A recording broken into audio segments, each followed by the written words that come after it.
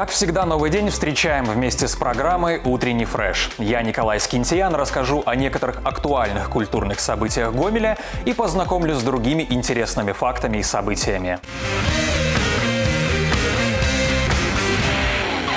Традиционно немного о погоде. Сегодня небо на территории Гомельской области должно быть безоблачным, осадков не прогнозируется. Столбики термометров поднимутся до 33 градусов.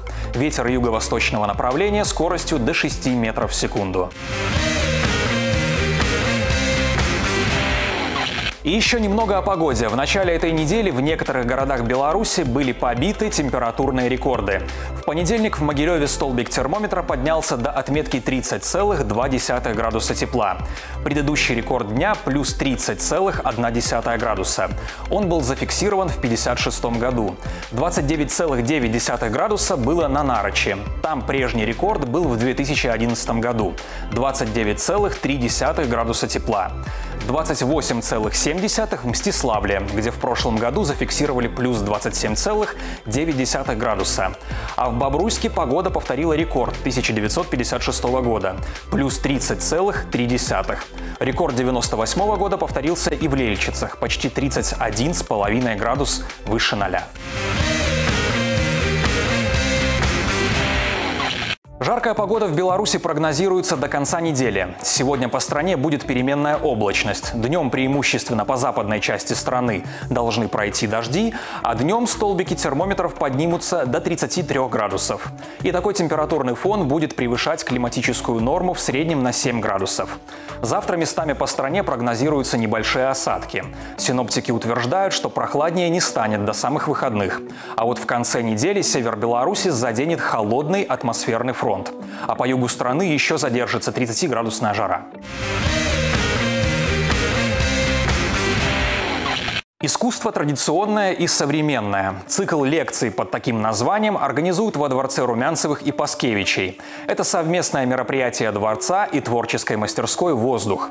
Проект создан для знакомства посетителей с диалектикой нового и традиционного в истории визуальных искусств.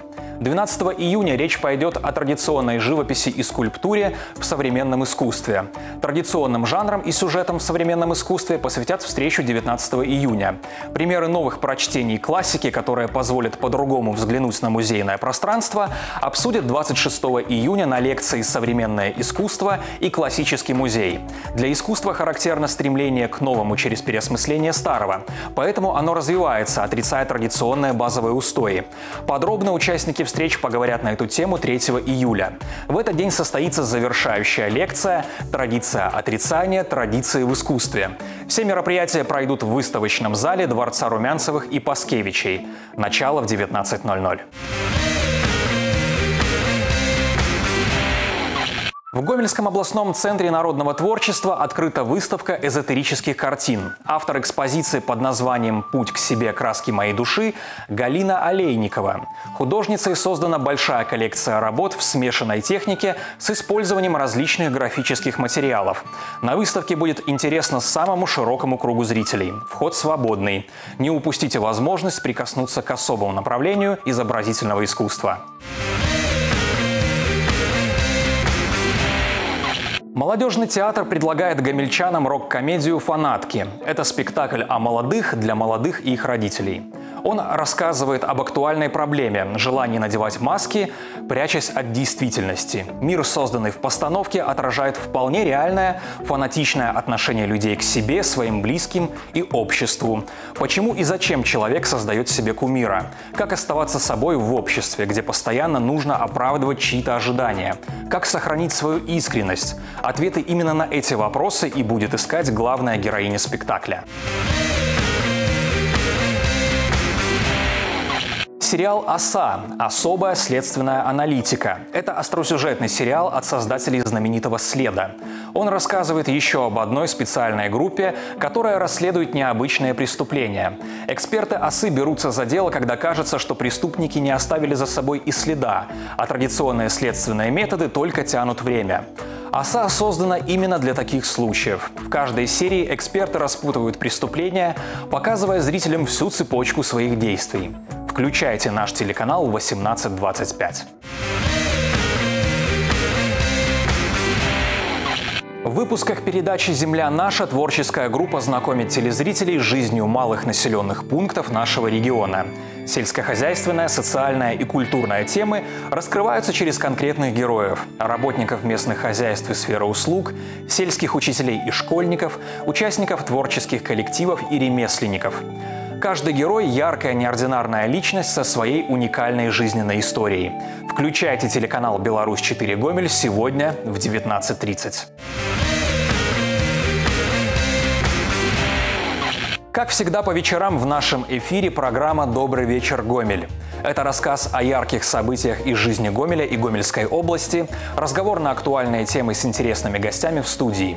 Сегодня вечером смотрите новый выпуск. Включайте телеканал «Беларусь-4» в 2025. Не упустите хорошую возможность приятно провести вечер всей семьей у телеэкрана.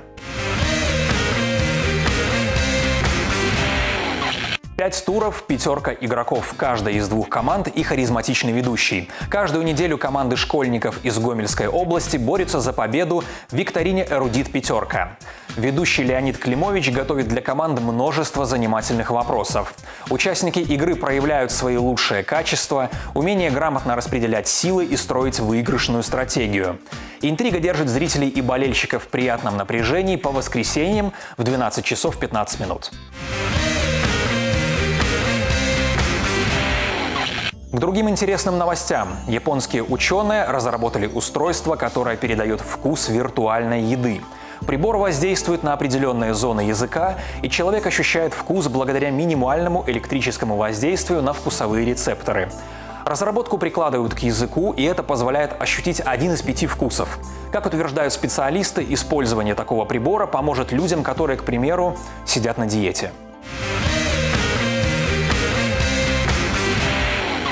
В Северной Каролине мужчина из-за забывчивости едва не лишился сотен тысяч долларов. Он купил лотерейный билет и оставил его на сиденье своего авто.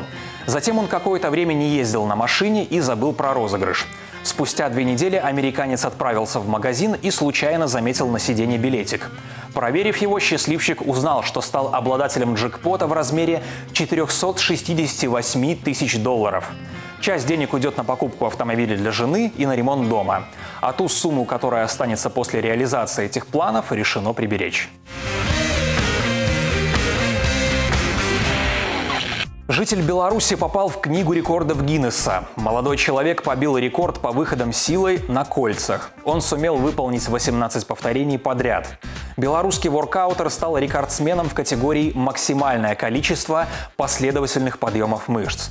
Рекорд был зафиксирован на видео. При этом мужчина уже не впервые попадает в книгу рекордов Гиннесса. Ранее он установил рекорд по количеству выходов силой на две руки. Также он рекордсмен по числу выполненных подтягиваний. Со временем второй рекорд был побит, но другие два белорус пока продолжает удерживать. И напоследок немного о братьях наших меньших. Собака виляет хвостом, значит, она рада нас видеть. Мы давно привыкли к этому утверждению. Однако радость, как утверждают знатоки характеров этих питомцев, не единственный мотив для виляния хвостом. Группа ученых установила, что собаки могут вилять хвостом и в том случае, если сильно нервничают.